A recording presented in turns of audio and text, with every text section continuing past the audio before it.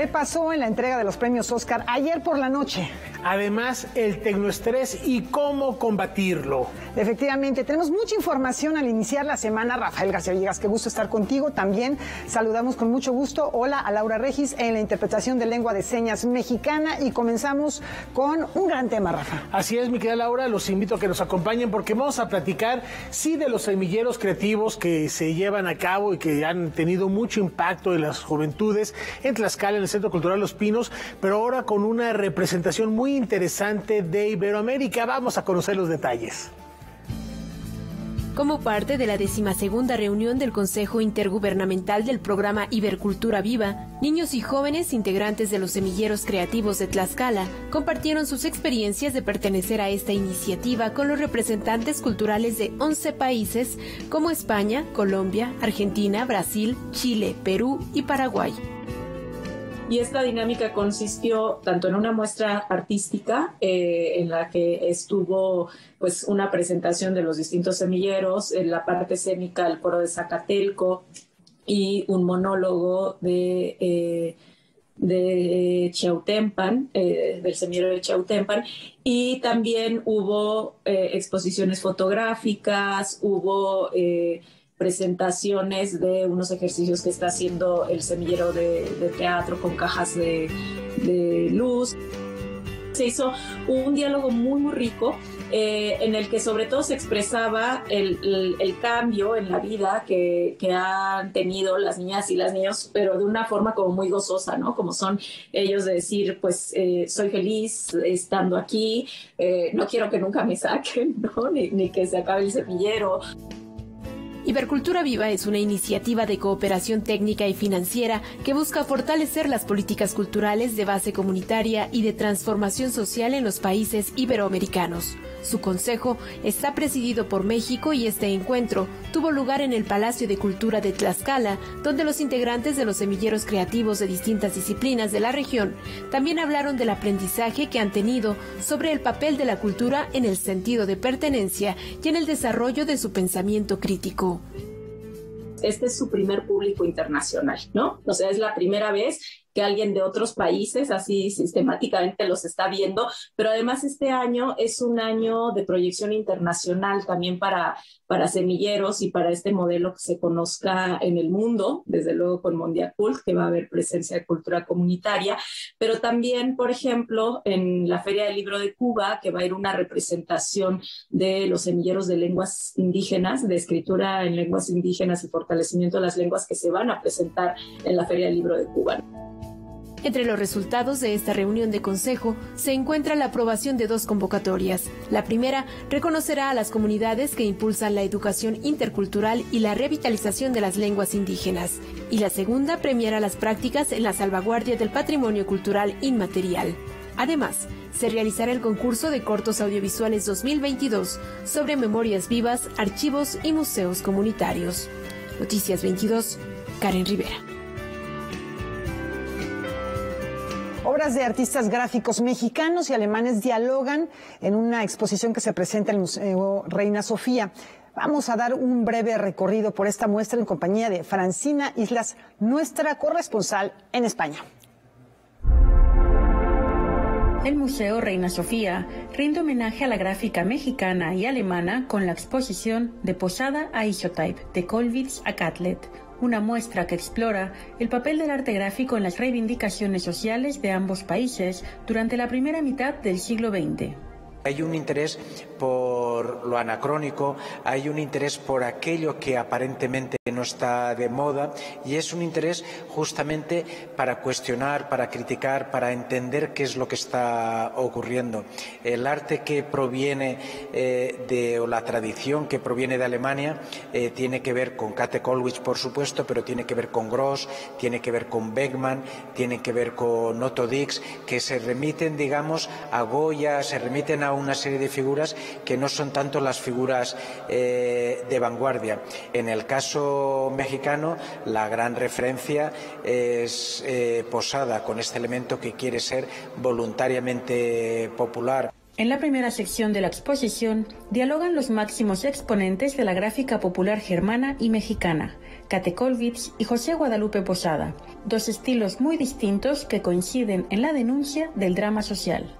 Why did Posada fake the primitivizing appearance of the woodcut when he was actually using a much more advanced technological medium that allowed him to produce large quantities of seemingly authentic woodcut images, right? That's a very interesting contradiction.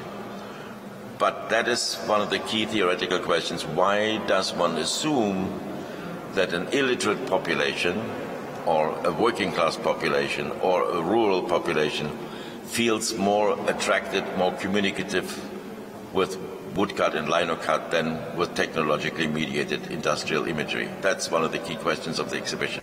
Tras recorrer la sección dedicada al expresionismo alemán, encontramos el trabajo del Taller de Gráfica Popular Mexicano, que reunió artistas nacionales y exiliados como Leopoldo Méndez, Raúl Anguiano y Pablo O'Higgins. The Taller de Gráfica Popular has its own agenda to deal with Mexican issues, namely the Cristero movement, for example, as I said. That's one of the examples. There are many others. Agricultural reform is another one. education is another one, literacy campaigns is another one. But they also then get engaged in the movement against fascism, both the rise of fascism in Mexico or the threat of fascism in Mexico and the fascism in the world at large. La muestra, que reúne 450 obras provenientes de distintas pinacotecas del mundo, culmina con el desarrollo del proyecto gráfico denominado Isotype y se podrá ver hasta el 29 de agosto. Para Canal 22, desde el Museo Reina Sofía en Madrid, España, Francina Islas, corresponsal. Claire Becker nos invita a cuestionar estereotipos y proponer una reflexión sobre la desigualdad de género a partir de una exposición escultórica en el Metro Tacubaya.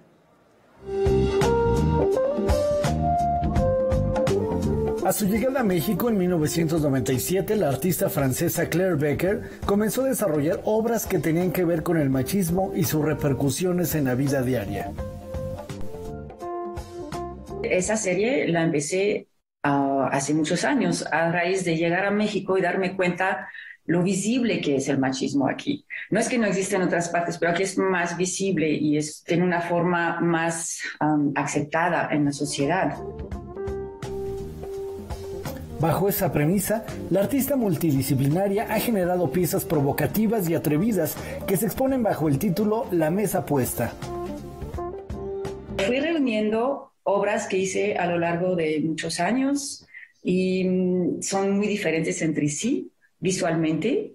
Hay unas piezas de bronce muy sensuales, hay unas piezas de mármol, hay unas obras compuestas de muchos elementos que son más conceptuales y uh, cada una abarca un aspecto especial, distinto de la problemática desde mi punto de vista.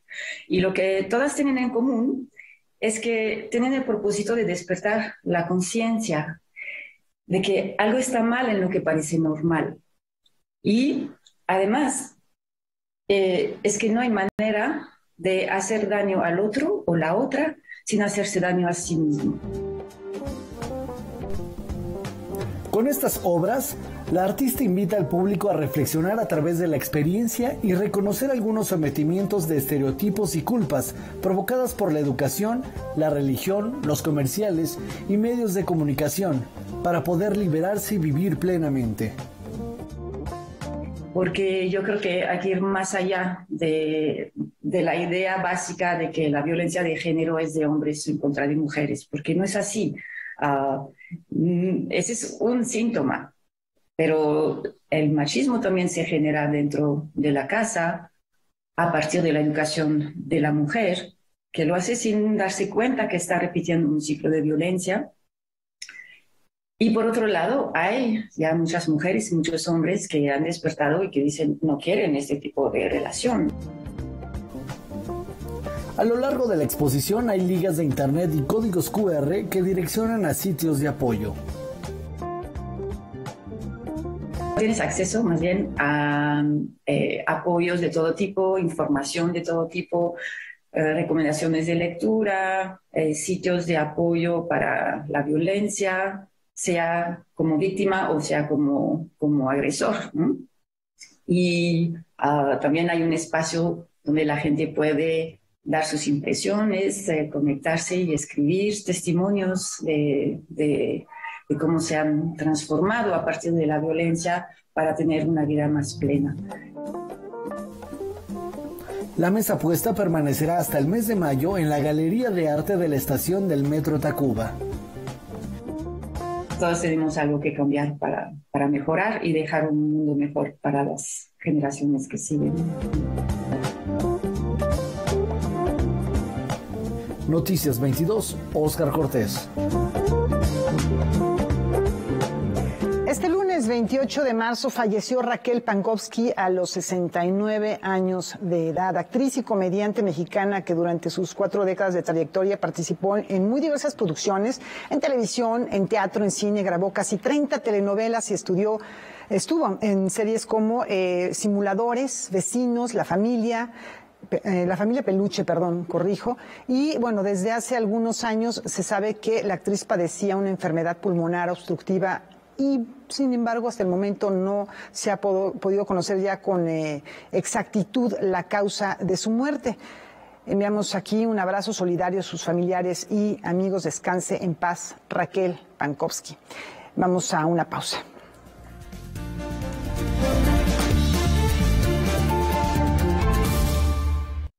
Bueno, hoy tenemos varias notas cinematográficas. No es jueves de cine, pero casi, casi, eh, Rafa, eh, Julio, porque tenemos muchos contenidos que tienen que ver con el séptimo arte.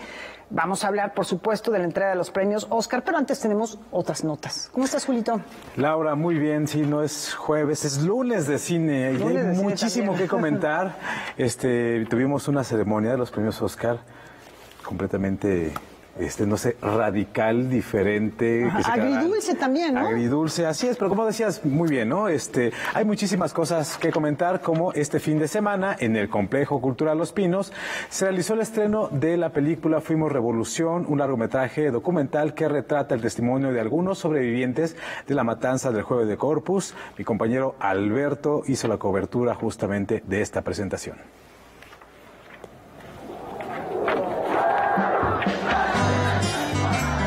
Para que no se olvide lo ocurrido hace más de cinco décadas, se proyectó el documental Fuimos Revolución, 10 de junio de 1971. Esta realización contó con el guion de Carlos Morales y dirección de Jaime Fraire Quirós y cuenta con los testimonios de seis sobrevivientes, Jesús Martín del Campo, Paloma Sainz Tejero, Paco Ignacio Taibo II, Lourdes Rodríguez Rosas, José Leobardo Reveles y Luis Ángel García. Los gobiernos autoritarios de la época de México, los años 60, 70 y todavía los 80, eh, fueron muy similares a las dictaduras de, América del Sur. Sin ser eh, golpes militares, eh, se actuaba, la preponderancia de la actuación de las Fuerzas Armadas era fortísima y se actuaba en contra de la disidencia con igual autoritarismo y con también con la idea de aniquilamiento que existió en Chile, en Argentina, en Uruguay. Y lo que ocurre es que aquí se reprimió con, mucha saña a, a las manifestaciones que eran pacíficas. El sector juvenil se enfrentó a un Estado que era autoritario y adultocrático. Tú joven no sabes opinar. Tú joven necesitas la tutela de nosotros. Tú joven este no eres capaz de presentar propuestas, ¿sí? A menos que estés dentro de nuestra férula y bajo nuestras reglas, ¿no? Y los resultados pues lo tenemos con las dos grandes masacres que se dieron y la derrota del movimiento estudiantil. El documental da cuenta de lo ocurrido y deja claro que la impartición de justicia es una asignatura pendiente. Ese es el gran pendiente. Yo confío mucho en que un presidente que tiene que llega con 30 millones de votos, este sí pueda hacer justicia, ¿no? Porque la verdad ahí está. Que sepamos qué pasó con todos nuestros compañeros y compañeras detenidos, desaparecidos durante todo este periodo, porque no nada más fue en la guerra sucia, fue un periodo muy largo Los halcones mismos jamás fueron juzgados. algunos fueron capturados pero porque se convirtieron en asaltantes atracaban bancos. Aprendieron eso antes porque lo hacían como una provocación, como una forma de culpar al estudiantado y a jóvenes de, hacer este tipo de, actos ilícitos, pero ellos los hacían. Entonces lo siguieron haciendo después. Además de la proyección de Fuimos Revolución a 10 de junio de 1971, se presentaron los libros Volvimos a salir, una historia oral del movimiento estudiantil de 1971 y El Halconazo, a 50 años del Halconazo, serie de estampas de México contemporáneo, antología documental a 50 años del Halconazo y antología testimonial a 50 años del Halconazo, editados por el Instituto Nacional de Estudios Históricos de las Revoluciones de México. Noticias 22, Alberto Aranda. Y fíjense que tenemos una muy buena noticia para hoy a las 11 de la noche, aquí en Canal 22, Julio. Sí, bueno, siempre lo, hemos dicho, ¿no? Este, el Canal 22 se ha convertido en el lugar donde encontramos las mejores propuestas cinematográficas. Las mejores producciones, la verdad, no es por Sí, y además, o sea, fíjate que en épocas recientes justamente el cine hecho o, hablado en lenguas indígenas se ha hecho eh, con mucha más frecuencia, ¿no? No era tan común y ahora se está haciendo y justamente el canal rescata la tercera muestra de cine en lenguas indígenas que va a pasar como ya lo decías, hoy a las 11 de la noche.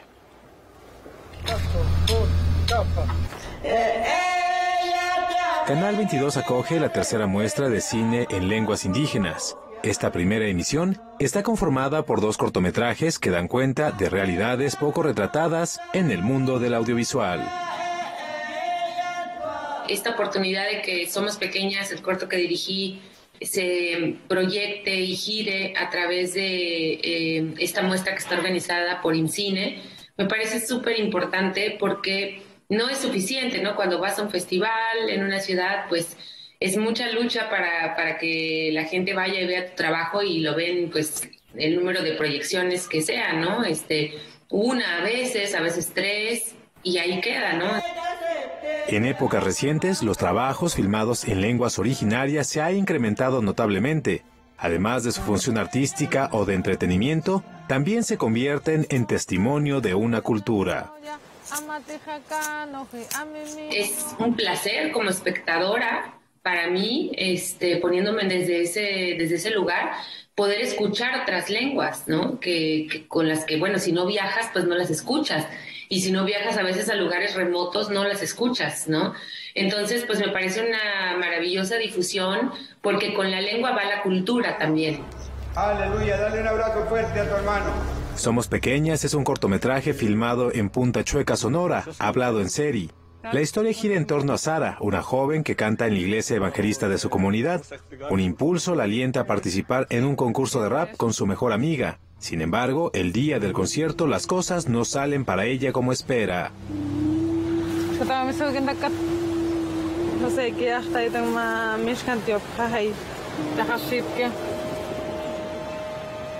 Hay una, una relación también que se sugiere entre ellas, pero Celica pues está casada y su, tiene un, un matrimonio con, con violencia, ¿no? Entonces no, no se lo permite, ¿no? No se lo permite el esposo. Entonces, pues la, película es, para mí, es eh, el poder del canto, la importancia de la voz, de hacer eh, presente nuestra voz.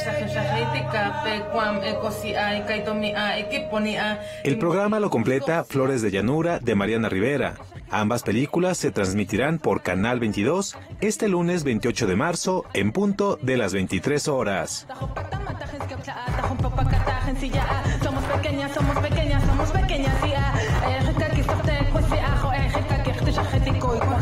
Somos pequeñas. Noticias 22, Julio López. Ahora sí, vamos a platicar de los premios Oscar, que hay mucho de qué hablar. Pero bueno, a diferencia de otros medios que hablan de la alfombra roja, de la ropa, eh, este, eh, a lo mejor merece un comentario el tema de, Will Smith, pero finalmente lo que nos interesa también pues es, el asunto de la premiación, eh, la manera en que eh, algunas películas sorprenden y otras pues es un anuncio muy esperado, Julio. Sí, o sea, lo que mencionas es muy interesante en el sentido de que a partir de lo que sucedió con Will Smith, el cine se quedó de lado, ¿no? O sea, Efectivamente, todas las notas que ves, o bueno, el, el 70-80% de las notas no son de cine. Sí, y en, y en- y en ese sentido justamente resalta, ¿no? Eh, Coda, ¿no? Que ya lo decía el maestro Sí.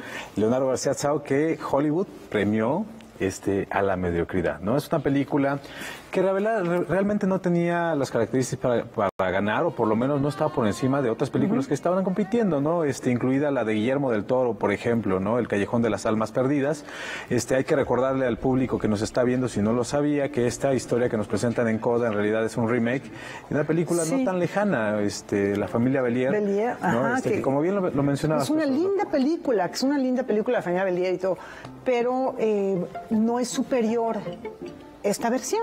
Pues no, la verdad es que, bueno, siempre sucede, ¿no? Este, que quien conocieron la versión anterior se van a quedar con la versión anterior. Esta no está mal, evidentemente ahí hay que resaltar la, la participación de Eugenio Derbez, que tiene muchos detractores y tiene muchos seguidores. Lo que hay que reconocerle a este actor mexicano es que prácticamente todo lo que hace le sale bien, ¿no? Ah, claro, sí. Tiene, te- participa en, en- en éxitos de taquilla, es querido por el público, tiene esa ese vínculo, esa comunión con el público mexicano, ¿no? Y por lo que estamos viendo también con el público norteamericano le ha ido bastante bien a Eugenio Derbez, que, bueno, dicho sea de paso, él no recibe precisamente este reconocimiento, pero forma parte de esta producción. Eso le va a dar una mayor proyección todavía, hace el papel del profesor de la chica que, que, bueno, pues está en, en vías de ser cantante y esto provoca una lucha con su familia, que es una familia este, eh, de, personas que rea- en la vida real son sordas. Sí, eh, fíjate que también es muy interesante en el sentido de que esta película solo tenía seis nominaciones, ¿no? Se llevó tres de ellas y que es producida por este Apple, ¿no? O sea que el- la onda de las plataformas también se puso intensa. Sigue siendo. Es la primera película que no es producida por Netflix, que se lleva un reconocimiento, se lleva el premio a la mejor película. Y justamente yo creo que uno de los momentos más emotivos es cuando este actor, eh, Troy Kotsur, se lleva el reconocimiento a la mejor coactuación. Sin lugar a dudas, este, se escuchaba en la traducción eh, quien estaba asistiendo, cómo se le cortaba la voz de lo que Sí. estaba diciendo este personaje. Debió haber sido un momento muy emotivo. Ahí va, mira, ahí tenemos por ahí algunas imágenes. Hubo varios momentos muy emotivos, la entrega justamente a la, a la mejor película también, Así con. Liza Minnelli. Con Liza Minnelli, ¿no? de Lady Gaga. Bueno, en fin, a ver si vamos, vamos viendo algunas de las imágenes. Ahí tenemos justo a Troy, ¿no? En, en el lenguaje de señas que, pues también de alguna manera, aquí sí creo que Hollywood cumple con esa cuota de inclusión. Y de mensaje. eh, Sí.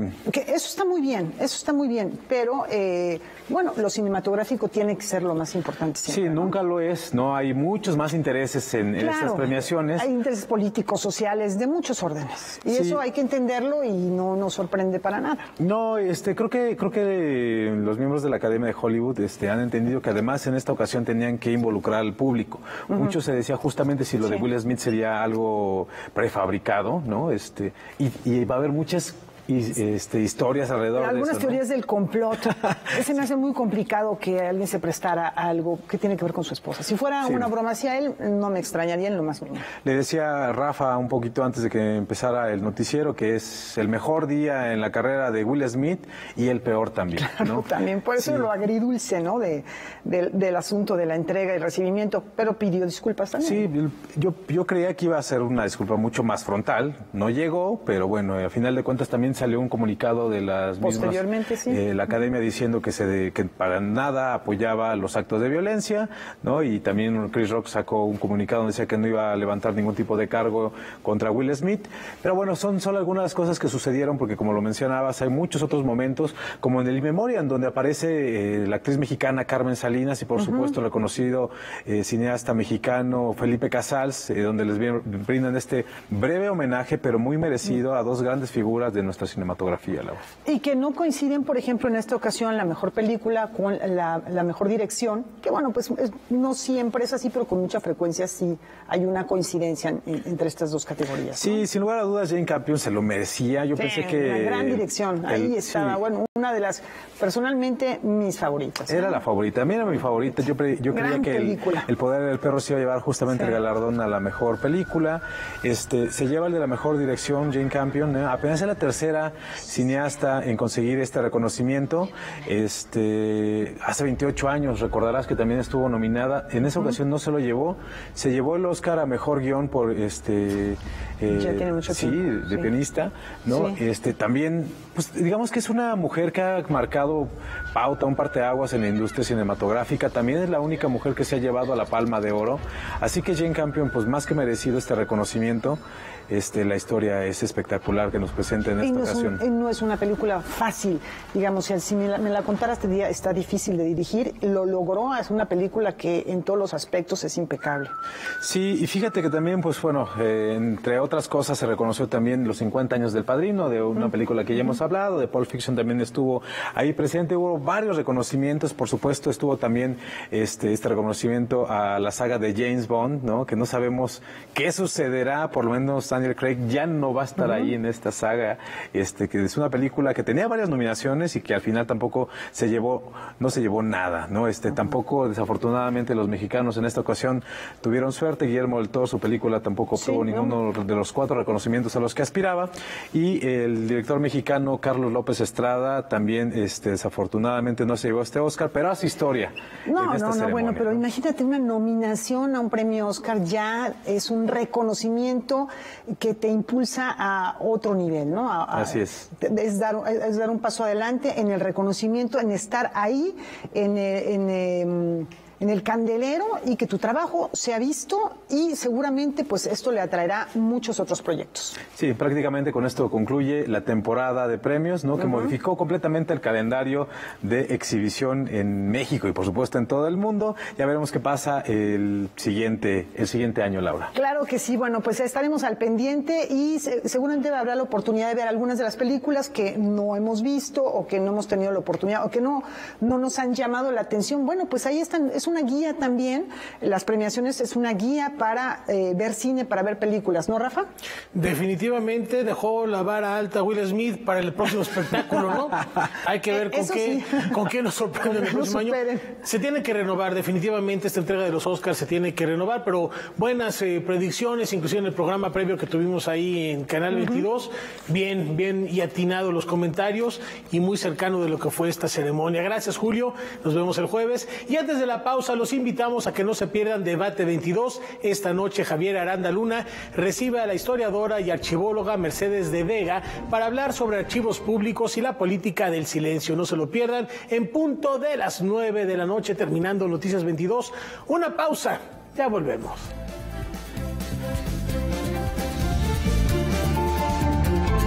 En la editorial de este lunes, la doctora Silvia Yorguli nos presenta un nuevo libro donde se abordan las consecuencias de las políticas migratorias.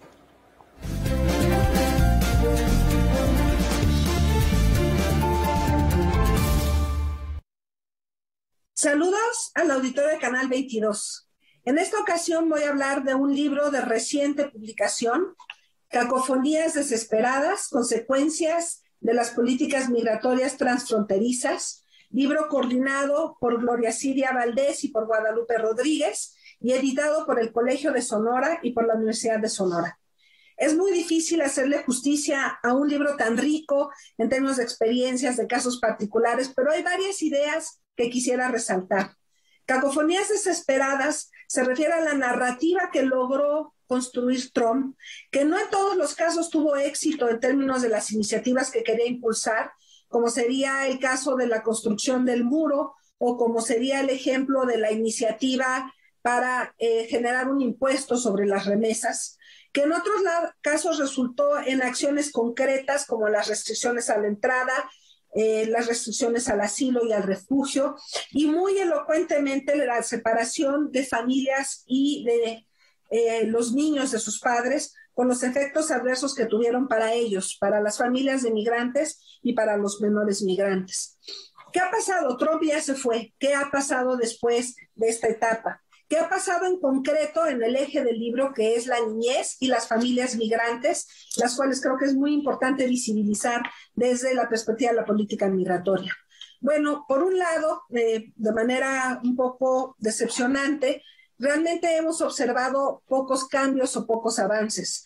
El gobierno de Biden no ha logrado generar una congruencia entre el discurso y los valores en torno a la migración que elocuentemente expresó desde la campaña, con una visión de protección humanitaria y con una visión de protección en particular de la niñez migrante, con una serie de acciones que mantienen inercias que se establecieron desde el gobierno de Trump, como es el regreso expedito y eh, las restricciones y la visión punitiva desde la frontera y que se ha visto reflejado, por ejemplo, en las muertes persistentes de menores migrantes en la frontera entre México y Estados Unidos. Ahora bien, no solo es un problema que atañe al gobierno de Estados Unidos, como bien lo refleja el libro, requiere de una mirada regional Involucra también a estados como los gobiernos de Honduras, Guatemala y El Salvador, en los cuales se sumaría un contexto de debilidad institucional y donde también hay diversos ejemplos de cómo, a pesar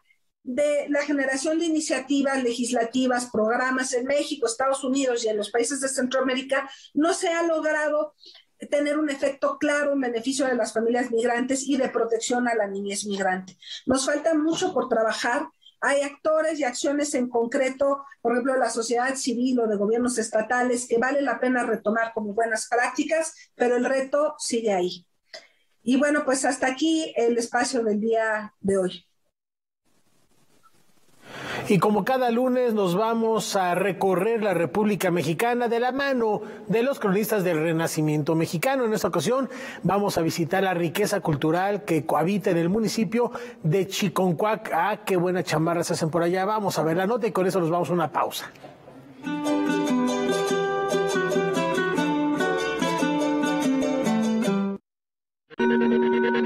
Chiconcuac, Estado de México.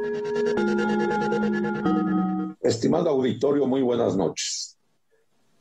Mi nombre es Rodolfo Elías Márquez Rojas, presidente del Consejo de la Crónica de Chiconcuac y presidente de la corresponsalía del Seminario de Cultura Mexicana aquí en Chiconcuac. Chiconcuac es un municipio que aún no ha perdido su esencia artesanal. Hay tras transición entre lo artesanal y la industrialización. Chiconcuac es un emporio industrial de todo tipo de, textiles, naturales y artificiales. Eh, la producción de Chiconcuac se comercializa en sus tres tianguis. Muy buenas noches, querido público de Canal 22. Les saluda el consejero del Consejo de la Crónica de Chiconcuac y miembro del Seminario de Cultura Mexicana, José Velasco Hernández. Mi intervención en esta ocasión es para invitarles a que visiten nuestra población. ¿Por qué visitar Chiconcuac?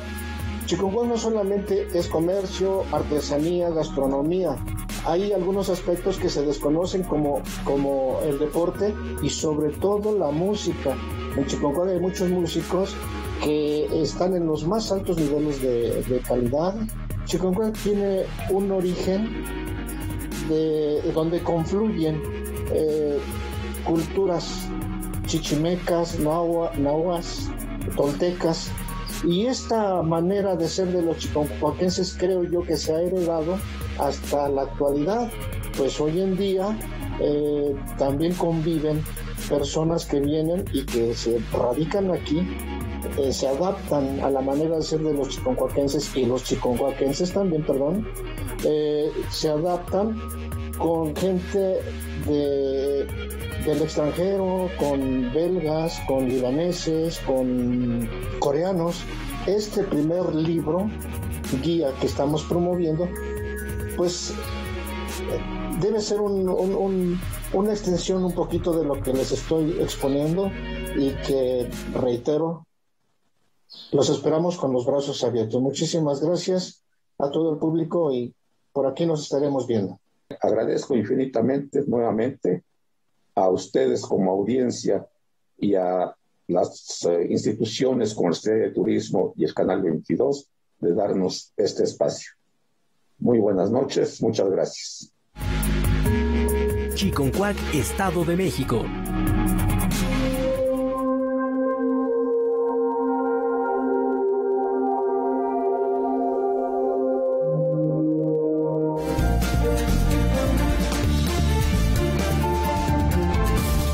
Es lunes de reporteros, así que tenemos una gran investigación muy original. Les va a llamar la atención. Rafa, ¿de qué se trata?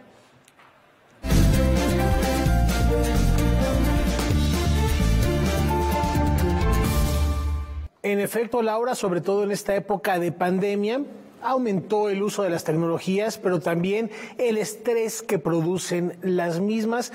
Hay algunas alternativas para tratar esta tensión. No obstante, a mí me genera más tensión el resultado, mi querido César, ¿cómo estás? La, alternativa para tratarla que la propio, el propio estrés que te producen los artefactos tecnológicos. muchísimas gracias, Rafa, por invitarme. Eh, hoy vamos a presentar un reportaje, vamos a llamarlo reportaje, sobre ASMR. solo. van, van, a ver que sí. Es eh, un reportaje sobre una tendencia digital muy reciente. Eh, tendrá lo mucho 10 años que empezó a tener un auge importante y fundamentalmente para quienes no lo hayan visto nunca, que no sepan qué es este término pues eh, tan extraño ASMR, pues son videos que producen eh, ciertos creadores de contenido, sobre todo en YouTube, ahorita en TikTok y en otras plataformas como Twitch están teniendo mucho auge también. Pero. Exactamente, esa es la cosa. estas personas lo que hacen es crear sonidos agradables para crear en las personas una respuesta de relajación, de tranquilidad. Hay quienes dicen, incluso uno de nuestros entrevistados dice que se ha llegado a usar para estrés postraumático. Entonces, tiene... Eh, tiene algunas implicaciones que, digamos, todavía la ciencia somete al escrutinio de las investigaciones, pero bueno, vamos a conocer eh, de entrada qué es este fenómeno de la ASMR en una definición eh, que nos comparten a continuación el doctor Eduardo Portas. Vamos a ver. El ASMR yo siempre he pensado y he dicho que es un invento muy curioso porque se inventó, fue, una cosa que se inventó a sí misma y, se alimenta a sí misma. Yo diría que es un fenómeno inescapable de las vidas modernas, un fenómeno mediático, inescapable de la, de la vida moderna, urbana, hiperconectada. Aunque usted no lo crea, este video alojado en YouTube desde 2016 contabilizaba a la fecha casi 24 millones de visualizaciones lo que equivale a la suma de las poblaciones de Portugal, Grecia y Uruguay. El video consiste en 45 minutos de una persona cortando jabón. Quienes han sido espectadores de este contenido dicen experimentar una sensación de relajación y una especie de hormigueo en el cuero cabelludo, el cuello y la parte superior de la columna vertebral. Este es el mundo del ASMR, el fenómeno de la era digital que mueve multitudes en YouTube. Estos videos lo que hacen es que durante un buen rato de tiempo 20, 25 minutos, 30 minutos o más, alguien nos habla y nos trata de relajar. Entonces, estamos viendo que sí, que funcionan como una especie de terapia digital ASMR es el acrónimo de Autonomous Sensory Meridian Response.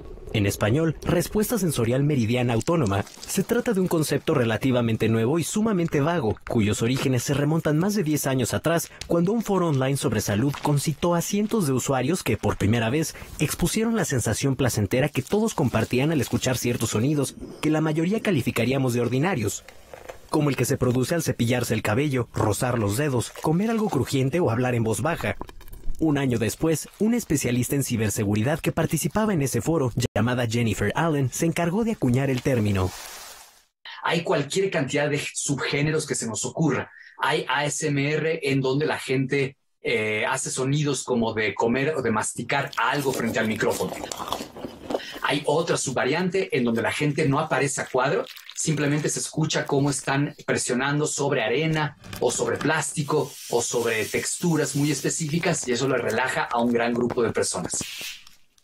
Hay otras en donde solo aparecen las manos que están haciendo ruidos sobre una superficie, puede ser de madera, y eso le relaja a otro tipo de personas. Y hay otro, claro, tal vez el género más conocido, en donde la gente aparece frente a la pantalla, generalmente de, eh, el busto para arriba, y hace todo un tipo de performance frente a la cámara. Si se fijan, estos videos de ASMR rara vez cortan es algo muy característico. Por eso las personas que hacen los videos ASMR se llaman a ellas y a ellos mismos se llaman artistas, porque no hay cortes en muchos de ellos y eso implica que tienes que tener todo el performance aprendido, el diálogo, qué es lo que vas a decir, qué sigue, ahora agarrar este instrumento, ahora bajar la voz aquí, ahora subir la voz acá, ahora hacer una pregunta. La evolución del fenómeno, como muchas tendencias en Internet, ha sido exponencial. Hasta el 2018 existían al menos 13 millones de videos con este tipo de contenido en YouTube. Hoy esa cifra es imposible de estimar, pues cada día surgen decenas de nuevos canales dedicados a esta práctica, cuyos creadores se hacen llamar a sí mismos artistas. Dotados de cámaras de alta definición y micrófonos ultrasensibles, capaces de captar los matices más ínfimos de cada sonido, los creadores de video ASMR más exitosos viven completamente de esta actividad.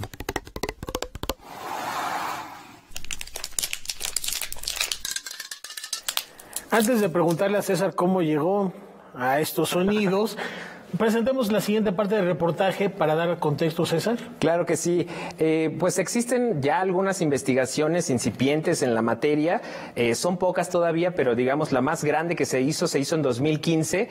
Eh, la hicieron en Swansea, en Gales, y digamos ha sido la más importante hasta ahora porque tuvo una muestra de más de 450 personas que se refirieron a los estímulos que les produce el ASMR. Entonces, ahorita lo que vamos a hacer es ver una cápsula, digamos, donde se habla desde un perfil psicológico, se trata de dar una explicación de por qué ha resultado ser tan popular, sobre todo entre los jóvenes, este fenómeno digital.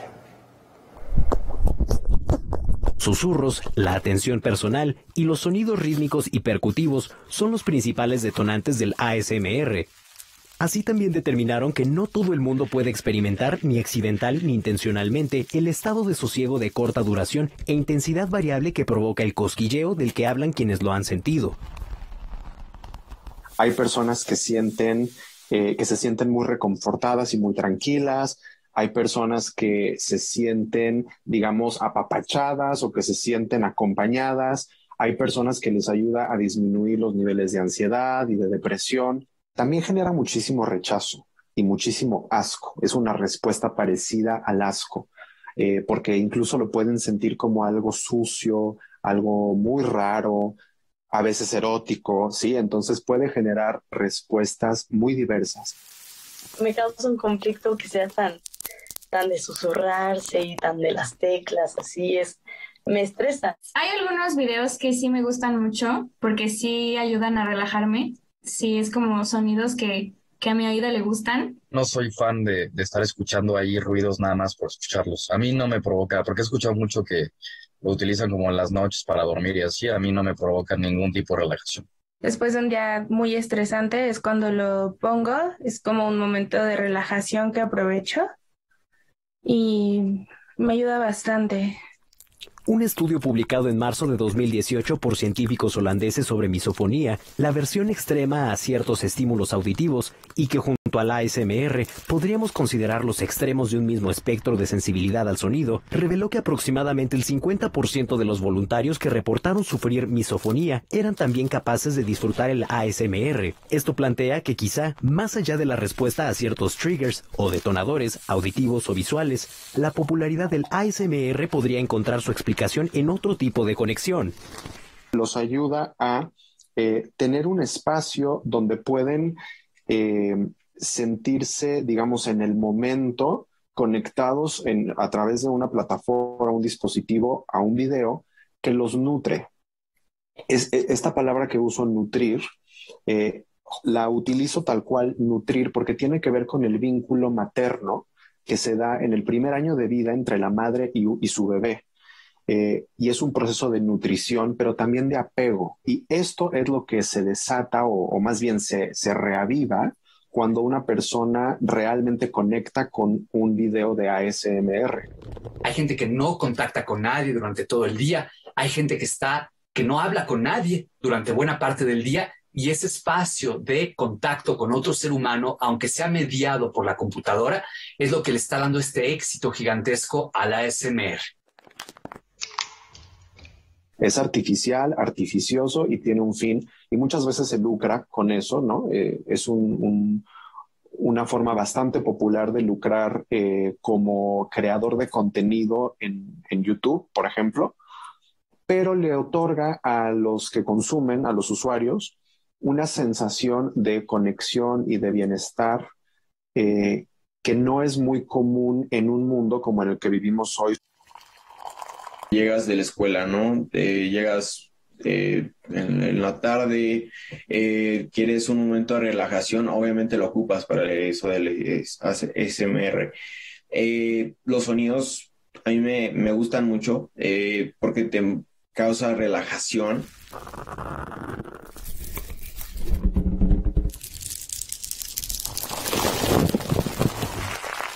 Ay, no sé.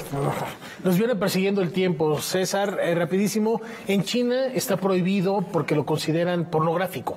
Exactamente, Rafa, y es muy interesante porque eh, esto que planteas, porque justamente lo que decía el doctor Quibrera con esta relación que se reaviva el vínculo materno, pues a mucha gente en realidad le resulta muy chocante este, que haya contenidos que sí tienden a ser eróticos o pretenden ser eh, sexualizados, que sí los hay, pero son los menos, porque en realidad... W, no, no, no, no. no, des ese tip, guárdatelo para ti. Pues ahora vamos a la tercera parte donde vamos a ver que tal vez, y solo tal vez, el ASMR y su popularidad también podrá explicarse por un padecimiento que solo puede entenderse en el mundo digital en el que vivimos y que la pandemia vino a acentuar de alguna manera.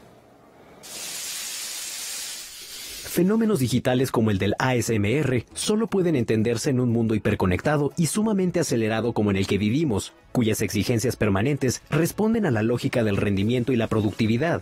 A la par de sus beneficios, la era digital trajo consigo un amplio catálogo de tecnopatologías, entre las que encontramos el tecnoestrés, concepto empleado por primera vez en 1984 por el psiquiatra estadounidense Craig Broad, quien la definió como una enfermedad de adaptación causada por la falta de habilidad para tratar con las tecnologías de la información y la comunicación, así como la incapacidad para gestionarlas de manera saludable. Hoy en día esta enfermedad es más común de lo que se cree. El tecnoestrés como tal es una enfermedad moderna de adaptación. ¿Qué significa eso?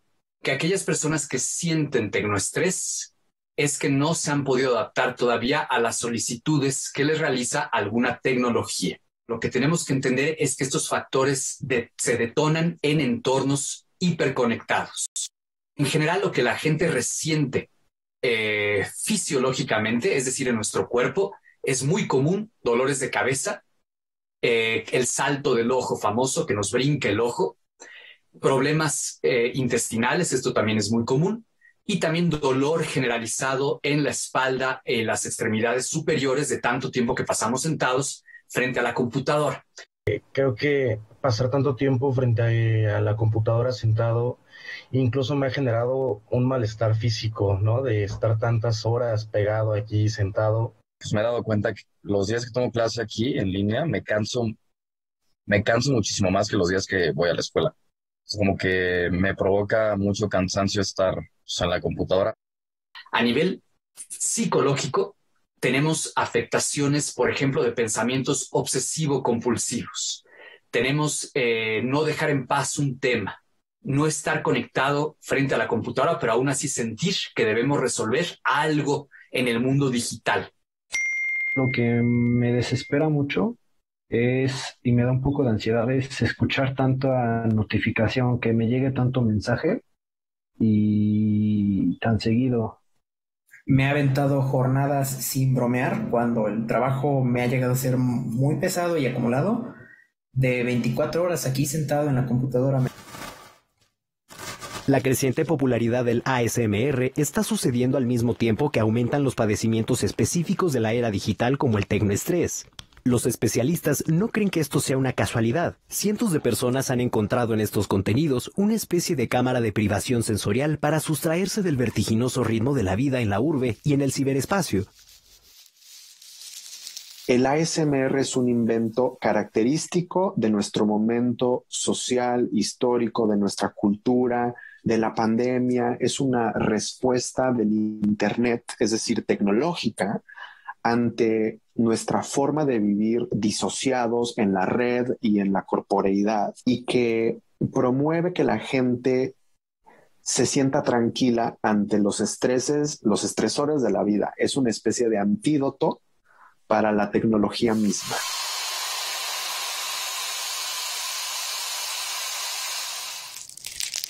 Combatir el estrés de la tecnología con el estrés de ver más tecnología. Es, suena un tanto este, paradójico, contradictorio, ¿no, chicos? No, y además hay, hay ruiditos y soniditos que son estresantes per se, y aquí te lo están ofreciendo como una terapia. El papelito que si alguien lo pone a rechinar en la bolsa en el sala de cine, te dan ganas de ahorcar, en la sala de concierto, cuando sacan... No, bueno, y aquí te dedicas a escucharlo 45 minutos. Y justamente sobre lo que mencionaba Laura, en algún artículo, cuando estaba haciendo esta investigación, mencionaban justamente, en, el título decía, el tecnoestrés produce su propia vacuna. Es decir, que en la, en la, lógica del mismo mundo digital que produce ese estrés, también va encontrando sus propias soluciones, que son soluciones que nada más le sirven ciertamente a un grupo de personas, porque ya sabemos que no a todo el mundo le va a gustar. En el caso de Rafa, ya manifestó varias veces que no tolera este tipo de cosas y es muy aceptable. Pero digo, traemos este tema a la mesa para entender un poco por qué a las personas que sí están viendo este contenido y que no son tres personas, estamos hablando de millones de personas que de verdad consumen este tipo de videos, pues un poquito para empezar a ver eh, por qué les resulta tan atractivo y si es que en verdad está eh, sirviendo un poco, como decía el doctor Quibrea, como un paliativo para estos estreses que genera el mundo hiperconectado. Y habrá que aprender también a desconectarnos y a romper ese estrés, quizá con otras eh, soluciones y otros remedios Muchas gracias, César. gran, tema y estaremos muy al pendiente de otro reportaje a propósito. Da, da para mucho, Laura. Efectivamente. Y bueno, nos despedimos con música. Tenemos eh, por ahí un par de minutitos con el compositor polaco Karol Simanowski, quien fallece 85 años atrás, eh, un eh, promotor de la música popular llevada a las salas de concierto. Muy buenas noches, disfrútenlo.